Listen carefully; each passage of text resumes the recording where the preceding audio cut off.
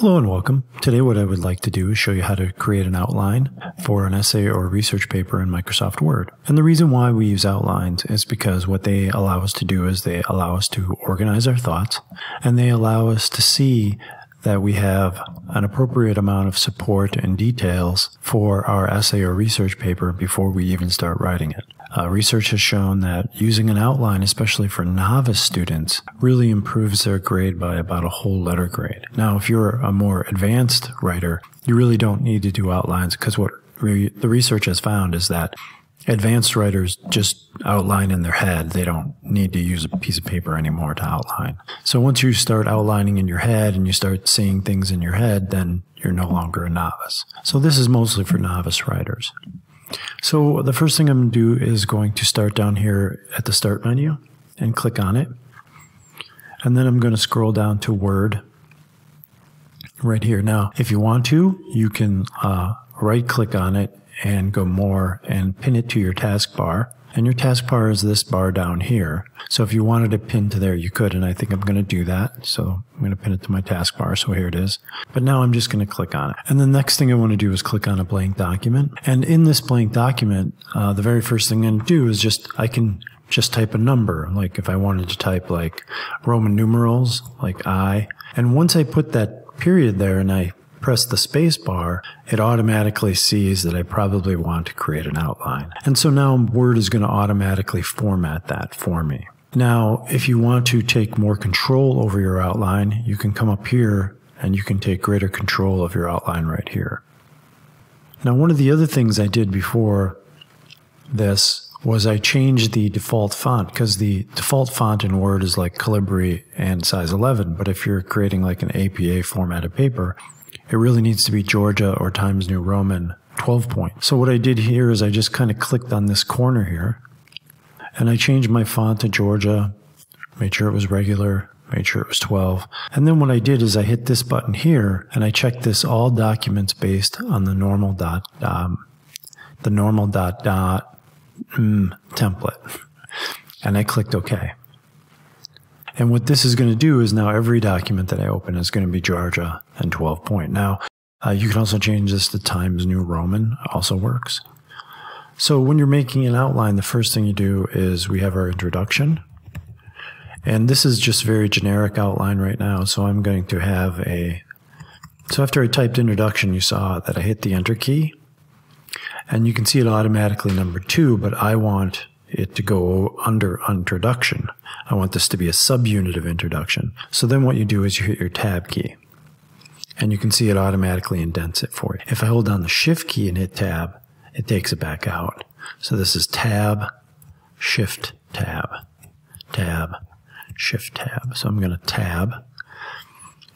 And mine is going to be broad to narrow introduction. So I'm going to start with just sources, like what are sources of information. And then I'm going to be more specific and go into primary and secondary sources of information. And now I'm going to shift tab back out, and this is where I like to write my thesis. And my thesis statement is primary sources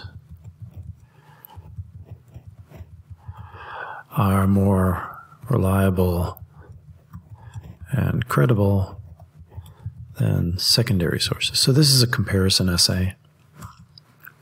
I could have just said that they were different. I didn't have to say that one was better or more of something than the other, but that is a way of making comparisons. So generally we make comparisons with comparatives where we're comparing one thing to one other thing. So that's when something is faster, smarter, stronger. Or we compare one thing to many things and we say one thing is the most or the best or the greatest or the worst as well. So it goes both ways. So that's one way we can make comparisons. So that's my thesis statement. So the first thing I'm going to do then is talk about primary sources. And uh, as you can see, I hit enter and now I hit tab to go in. And the first thing I would do is provide a definition of a primary source. And then this would just be a textbook definition and uh, then I would provide examples. So some examples would be like the Diary of Anne Frank.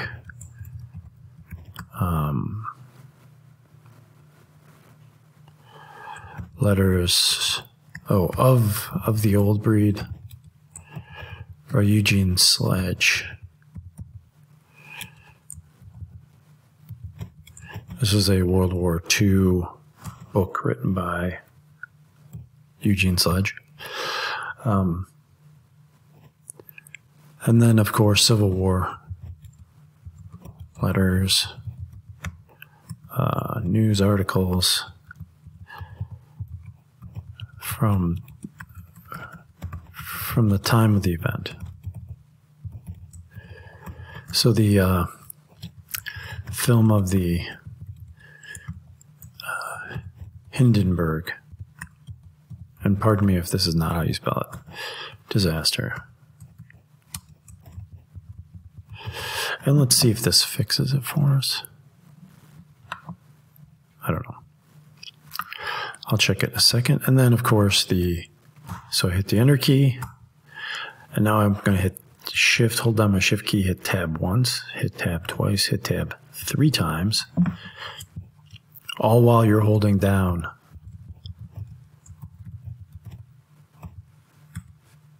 the shift key.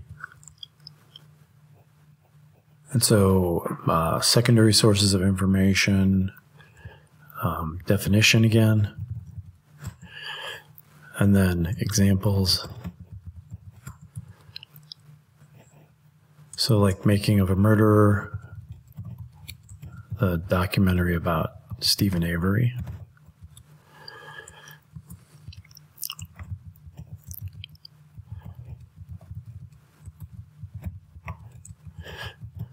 Now, I know some places tell you you can't just have one item underneath. You have to have two. Hogwash. That's there's no rule about that. That's just a made up rule. Um, so Wikipedia would be a secondary source, and encyclopedias. Uh, almost all of your textbooks are secondary sources, unless the textbook was actually written by an expert who's act- who actually has done research. So then it wouldn't necessarily be a secondary source. So that's how you make an outline. Okay. It's very simple. Word will pretty much format it for you if you want to change anything. That's right here. And remember the two keys on your keyboard that are super important are the shift key and the tab key. So to go from the 1 to A to make an A, you hit tab. To go back to the 1, it's shift, hold down the shift key and hit tab. Unlike this one down here, I had to shift and tab back three times. Okay. And so each kind of one of these can constitute a paragraph in your essay. It really depends, though, on how you want to do this. So, for example, my introduction would probably be one paragraph. However, down here for my primary sources, I would have probably have uh, the definition be a paragraph, and then my examples be a paragraph.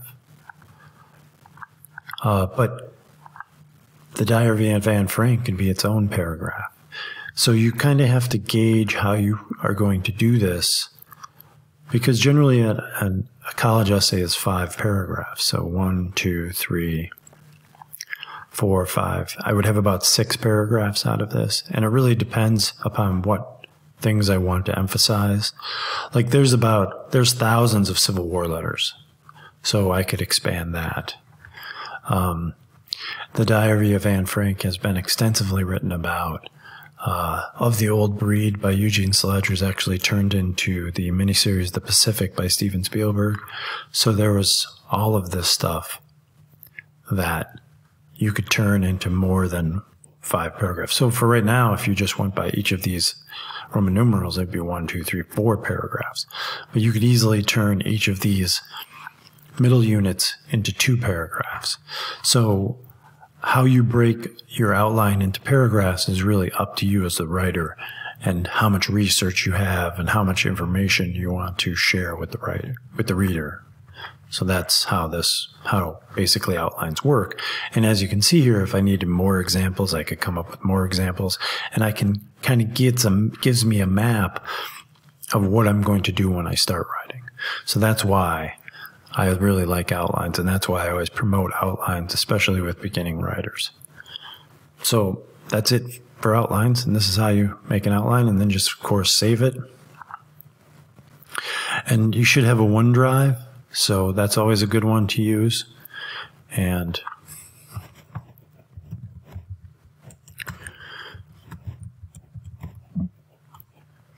and just save it to your OneDrive. Anyways, have a great day.